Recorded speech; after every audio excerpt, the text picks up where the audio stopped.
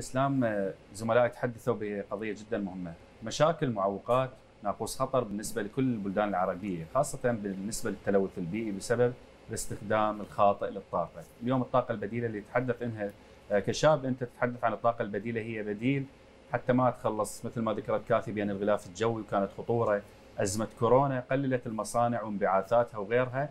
شفنا قالوا بين طبقة بدأت تلتم مرة ثانية والحياة راح تعود طبيعية. أنتم كشباب اليوم عربي تتواصلون وممكن يكون صوتكم مسموع، ما رفعتوا هاشتاج بأن إنقاذ البيئة واستخدام الطاقة البديلة، نحتاج من يمد لنا يد العون حتى ننفذ هذه المشاريع.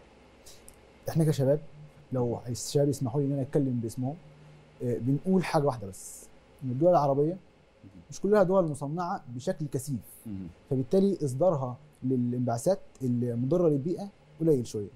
وبالتالي إحنا ليه نتحمل أخطاء ناس ثانية ما بالنسبة لهم ده إنتاج. بالنسبة لنا إحنا أخطاء. هم بينتجوا وعندهم استثمارات. صناعية. إحنا ليه نتحمل نتيجة الاستثمارات دي؟ إحنا استفدنا إيه؟ طب خلاص طالما هتضرني بيئيا؟ تعالى ساعدني. طب مش هتساعدني انت ما تضرنيش. طب مصر زي يعني كمثال مثلا. مصر ذنبها إيه؟ شاطئ جميل جدا زي اسكندرية يختفي خلال ال 100 سنة الجاية. صح. ذنبها إيه؟ صح. ما استفدتش حاجة.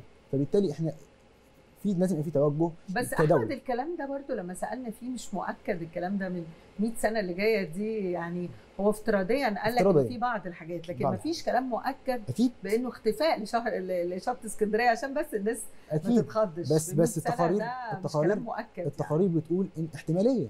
طب إحنا لازم نحل إحنا لو حلينا مفيش أي حاجة تحصل نفضل محافظين على وطننا كامل. بس إحنا إمتى هنحاول؟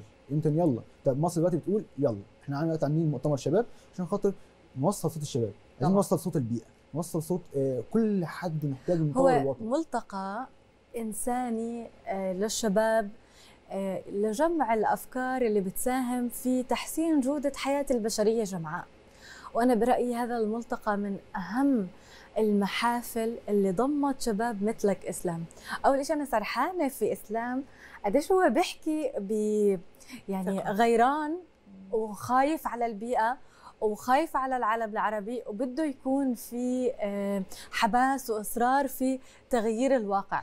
وهذا اللي وجد له ملتقى شباب شباب قادر على التغيير نحو الأفضل. عشان هيك اليوم إحنا عم نحكي عن هذا الكم من الشباب المؤمن بقضيته مهما كان مجالها وتخصصها وقادر على التغيير وعم بيجتمع مع القادة والرؤساء من أجل إحداث هذا التغيير. هنيئا لمصر وهنيئا لكل شباب العربي فيكم.